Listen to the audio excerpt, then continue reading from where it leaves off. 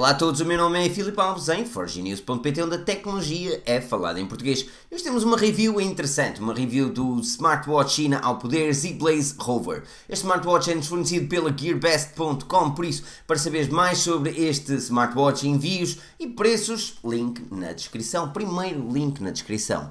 Não esqueças, se é a primeira vez que cá estás em dar um like, subscrever o nosso canal, que é muito importante. E se quiseres ser mais bonito, partilha, porque cada partilha aumenta o grau de beleza.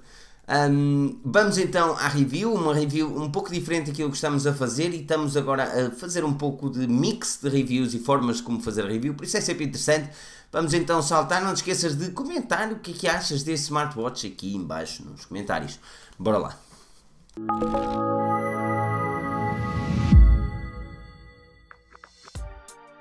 Ora, muito bem, comecemos com o início com este Z-Blaze Rover. Este é um smartwatch catita, ok? Mas há uma coisa que eu não gosto na maior parte dos smartphones e smartwatches China ao poder, que é o seu unboxing. Isto é, uh, quando uma pessoa compra um smartphone, e porquê que nós damos tanto valor a um unboxing? Porque um unboxing de um equipamento deve ser algo bonito, deve ser algo interessante de se ver. Este smartwatch vem nesta caixa, uma caixa em cartão, sem cuidado algum, uma caixa por dentro tem papel, o seu carregador e mais pouco mais a apresentar. Isto é, agora imaginemos, ok, eu pus a ideia, imaginemos que este smartwatch vinha numa caixa da Huawei Trackband B2. Eu fiz um, um pequeno clipe para imaginar que este seria o unboxing. Epá, é simplesmente fantástico. E é simplesmente uma caixa que difere de si do material. Agora, uma caixa, ver numa caixa premium e numa caixa pobre, que não tem outro nome, é uma caixa pobre. Agora, a nível de experiência de unboxing, 0 em 10. É, é, sem dúvida alguma, é das, das, piores experiências de unboxing. Mas isto é a maior parte dos, dos smartwatches chineses, vem assim. Eu acho que eles poderiam melhorar isto. Eu continuo a achar que. Eu sei que não é o mais importante, porque em si o importante é o gadget em si, mas de qualquer das formas sou uma pessoa que dou valor muito ao unboxing. Eu acho que mostra o quão a empresa quer saber sobre tu estás satisfeito com o produto. Uh, por isso, a nível de unboxing é desapontante e poderia ser facilmente mudado. Gastavam se calhar e puxavam um bocadinho mais no smartwatch, mais 3 dólares que seja, e tinham um unboxing muito, muito mais vantajoso. Mas isto é a minha opinião. Passando então para o smartwatch. Olhando para o smartwatch e o seu design, nós vamos ver um smartwatch super interessante. Obviamente tem aqui parecenças com o Apple Watch, isso é, é muito óbvio demais.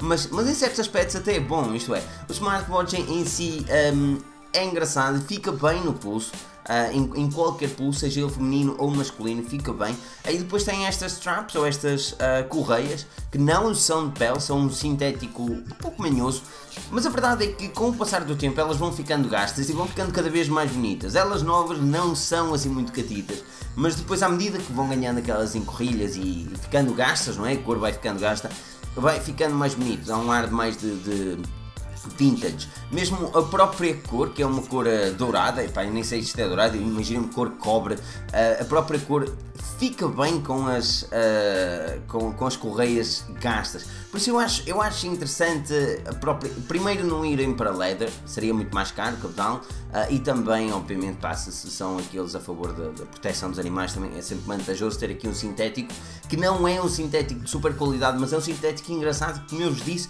à medida que se vai gastando, vai ficando mais bonito. Se quiserem trocar as, as correias, vai ser um pouco complicado, este não é o normal de 13mm, é um pouco mais pequeno.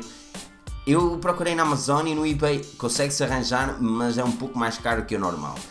Olhando para o smartwatch em si, a nível de design, como vos disse, é muito idêntico àquilo que o Apple Watch é na verdade. Uh, obviamente dá-nos Uh, pequenas coisas diferentes, isto é, o lado lateral não tem o botão, uh, normalmente no Apple Watch tem então a, a, coroa e depois tem aquele botão de menu, aqui não tem, aqui só vamos, tem um, um botão no lado, do lado direito e a coluna speaker, uh, na parte do outro lado temos o microfone e nada muito mais a apresentar, em si o smartwatch é catita, tem aqui uma, um, ecrã, um ecrã interessante um, com os barulhos muito estranhos, eu sei, há um barulho muito estranho, mesmo às isso a nível de barulhos, por isso é, é, bom que deixem isto em silêncio. Podemos reparar então que isto é stainless steel ou e também há a prova d'água, também é um smartwatch e eu testei, com um bocado de medo, devo ser honesto, mas testei está a funcionar perfeitamente. Depois temos também aqui um, o carregamento por indução, a indução magnética, a que pode ser e tem, depois tem, oferece-vos então a, a parte do, do, carregador com um cabo com um cabo dados, oferece-vos este carregador com um cabo dados podem simplesmente encaixar. Não é das melhores formas de carregamento, no entanto eu prefiro esta um, ao de, a entrada USB, porque pelo menos a nível de design o smartwatch vai ficar mais interessante. Uh, depois lá está, temos os quatro, quatro parafusos aqui atrás que também ficam mal até dizer chega, mas ninguém vai andar a olhar para a traseira do smartwatch. De qualquer das formas, a parte um, frontal, que é a parte que nós mais olhamos para o smartwatch, realmente é, é engraçada, uh, oferece uma, uma, uma, uma, ideia bonita, principalmente para o smartwatch uh, China ao poder. E é aqui que eu quero que, eu quero que tenham em conta. Eu quero que vejam o preço deste smartwatch, ok? Link na descrição. Quero que vejam o preço deste smartwatch e quero que vejam a qualidade que ele oferece, principalmente a nível de design. Depois a nível de UI e notificações, já lá vamos falar. Mas a nível de, pá, a nível de design, para o preço que está a apresentar, é simplesmente fantástico. Uh, depois lá está, depois temos um ecrã um ecrã pequeno, um ecrã de 1.5, mas que também nos dá uma luminosidade interessante. O User Interface, é aqui que vamos falar já do User Interface, é um User Interface estranho, é assim, ele é, ele é, ele é obviamente mais uma vez a, a ideia daquilo que é o Apple Watch com aquelas ícones redondos e tal. Honestamente eu prefiro este user interface aos que normalmente vêm no China ao poder. São muito estranhos os China ao poder. Este user interface nota-se que não é de super qualidade, principalmente porque o ecrã não tem o melhor, uh, a melhor sensibilidade ao toque. Ah, mas de qualquer das formas dá-nos um user interface bonito e de fácil interpretação, tendo notificações por Bluetooth, mensagens, chamadas, uh, definições, tudo muito bem categorizado e, e nota-se mesmo pelos ícones que se está a falar do quê, sem ter 40 páginas para passar entre menus. Tem duas, não chateiam muito. Nesse aspecto, um ponto mais para este smartwatch, principalmente pelo o seu preço.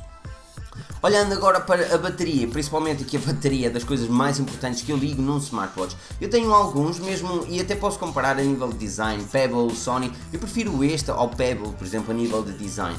A nível de autonomia, é um dos smartwatches mais falham. Ah, este tem uma bateria de 250 mAh, que não é muito, mas surpreende. Eu tenho uma data de notificações por dia, obviamente depois com a aplicação eu posso pôr aquelas que quero notificar ou não, que são quase todas, mas de qualquer das formas isto dá-me para dois dias de utilização. E, e, é uma coisa interessante, porque eu às vezes ponho a carregar e ele numa hora diz-me que está carregado, mas se eu utilizar ele dura-me para meio dia. No entanto, eu se deixar umas 4, 5 horas a carregar ele vai-me durar então muito mais tempo. Eu acho que isso seja uma pequena falha de software. De qualquer das formas, eh, é interessante vermos então um smartwatch que me dura para dois dias, um smartwatch China ao poder que me dura para dois dias. A nível de notificações, que é na verdade aquilo que um smartwatch faz, funciona muito bem. São notificações e a vibração é um pouco forte, mas de qualquer das formas um, dá para perceber perfeitamente que temos a notificação, às vezes até um pouco demais, porque conseguimos ouvir o, o som da vibração, que também não é muito vantajoso. Uh, e depois temos então a possibilidade de, de, conseguir ver 5 notificações e posteriormente vai cobrindo uma ou outra, que não deverá ter problemas também. O interface normalmente é como quase todos os smartwatches ao poder, se já tiveste um, não vai ser muito diferente a nível de notificações, digo eu, uh, e o interface a nível de notificações, vai ter, vai, vais ter a mesma aplicação uh, que usas nos outros para interligar este com o smartwatch, com o smartphone, seja ele Android ou iPhone ou iOS Uh, neste caso, poderás então fazer essa, esse, emparelhamento e a nível de notificações vai ser realmente interessante. Mais uma vez digo, estou aqui a falar e olhem para o preço deste smartwatch antes de, de, para terem uma noção do preço estamos a falar aqui. O, a nível de preço, este smartwatch é simplesmente fantástico, ok? Uh, já tivemos aqui algumas reviews, falham sempre em coisas que eu considero importantes. Uma notificações, a outra design e bateria. A nível de bateria eles têm safado bem, China ao poder. A nível de design, este é simplesmente fantástico, bem mais vantajoso que o Pebble, na minha opinião. Depois, a nível de notificações, este também funciona muito bem, a vibração é intensa, mas não é nada que seja muito incomodativo. E pá, e achei interessante mesmo a própria ideologia do smartwatch. Este equipamento, este Z-Blaze Rover, dá também para falar ao telefone, isto é, para atender uma chamada no próprio pulso, que é um autêntico desastre. Tu consegues ouvir mal as pessoas, as pessoas não te conseguem ouvir bem. Por isso, neste aspecto, epá, eles mais valiam estar quietos, se calhar ao dar-me um bocadinho mais de autonomia ou algo mais diferente uh, do que propriamente atender as chamadas. São dois pontos negativos que eu considero, uh, não considero muito importantes, mas considero vantajosos que tivessem positivo, isto é, Um é as chamadas, que eu não acho que, que seja bom, não é bom, ponto final. Ah, e, do, e o outro é mesmo o unboxing. O unboxing poderia ter sido mais cuidado e garantidamente iriam atrair mais uh, clientes e utilizadores para as próximas versões. E isto é garantido. Se algum dia a Forge News fizer alguma coisa, a experiência de unboxing terá de ser bonita. Ponto final. Depois, um, essas, são, essas são no meu aspecto, uh, o meu aspecto negativo deste smartwatch. Depois a nível positivo, pá, tem quase tudo. A nível de design, tem um design bonito, por muito seja China ao poder, mostra a mínima qualidade. Depois podem também mudar as, as correias, embora eles sejam complicadas de arranjar, podem mudar as correias também, uh, que não terão uh, muitos problemas. E, e, em si o relógio é bonito, a bateria oferece boa autonomia, oferece notificações a tempo e horas sem problema nenhum, a vibração não é muito intensa, Epá, é uma coisa Honestamente, eu estou a fazer este smartwatch como meu daily driver, tendo o Pebble e o Sony Smartwatch e o Huawei Trackband B2 ali, ok? Por isso, tenham plena noção que estamos a falar, por exemplo, no Pebble, que é dos melhores smartwatches que eu já uma vez vi para notificações, eu estou a utilizar neste momento este e vou continuar, continuar a utilizar este. Este smartwatch é bem bonito, oferece qualidades muito interessantes para aquilo que estamos a ver num smartwatch China ao poder e eu garantidamente aconselho a compra deste smartwatch. Se quiserem comprar um smartwatch a um preço, qualidade bastante interessante.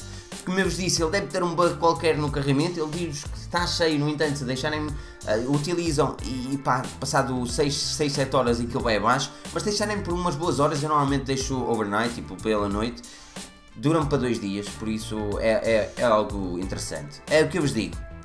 Já sabem, um, esta foi a review do Z-Blaze uh, Rover. Façam aqui um like, subscrevam aqui o canal. Quero dar um enorme obrigado à GearBest, o Remy que está aí desse lado.